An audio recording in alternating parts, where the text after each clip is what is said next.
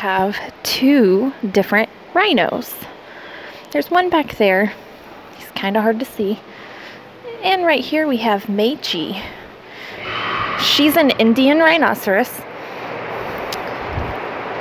And as you can see, she's eating her vegetation, which is what rhinos typically eat.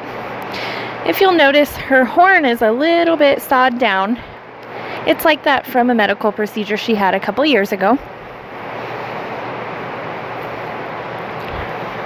Rhinos can be found in different parts of Asia.